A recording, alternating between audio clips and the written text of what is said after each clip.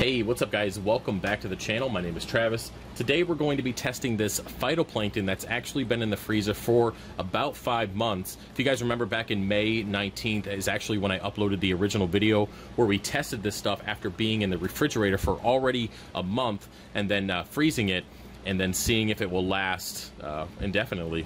But uh, anyways, I know that I said in that video that I was only going to wait a month or two and then test it. Well, I forgot. One of the subscribers reminded me, so I appreciate that. Uh, so we're going to go ahead and test it. Now, uh, one thing that I did notice is af after it unthawed, the uh, Phyto definitely settled to the bottom, indicating that there is definitely going to be some die-off in this, but it smells fine.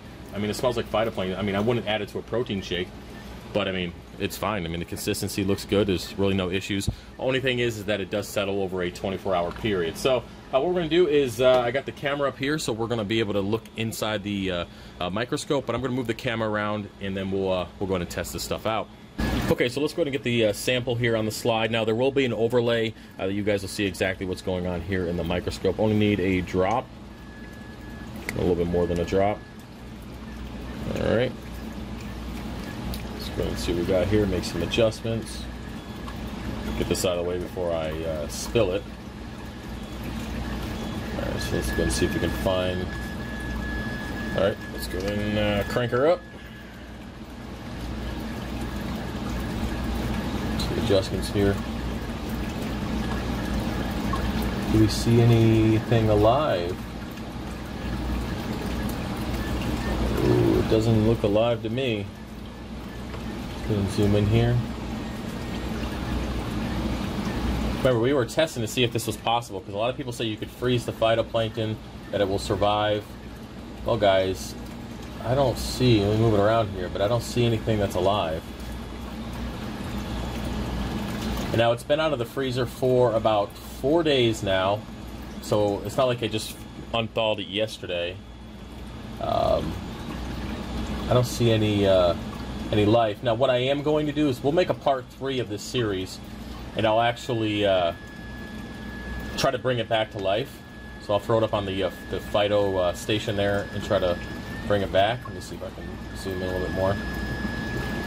Not too close.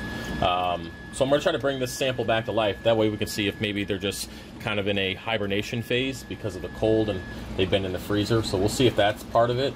But uh, right now, nothing seems Nothing seems alive. It, it's all, nothing's moving. If you guys remember the last sample, which matter of fact, let me go ahead and, uh, I'll show you a difference. I'll just grab a sample right out of the uh, uh, the Phyto station, throw it on a slide, and you guys will see the difference. And uh, yeah, let me go and do that real quick.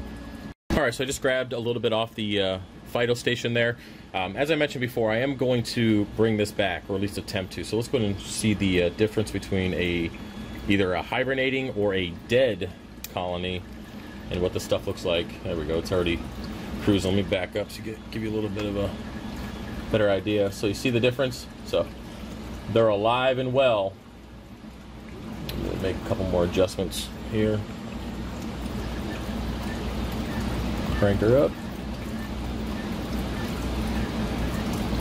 So as you can see, there's a there's a major difference between our uh, again either hibernating or dead. It smells it smells alive. There's no staleness or anything like that. So I am definitely going to make a part three of this, uh, hopefully within the next couple weeks. It only takes a couple weeks to bring this stuff back, if it's uh, you know if we're trying to reculture stuff. So uh, yeah. Uh, hopefully you guys enjoyed the video. Uh, look out for part three, and I will in part three I will put all uh, of the other two videos in the comment section so you guys can follow along. But either way, that's about it for the video. Hopefully you guys enjoyed it, and we didn't necessarily necessarily learn anything other than the fact if it's in the freezer for five months, it's probably it's going to smell fine, but uh, it's not. It doesn't appear to be alive. Uh, and again, we'll find out here in a couple weeks if it's actually uh, still alive. So that's about it. Hopefully, you guys enjoyed it, and I'll see you later. Peace.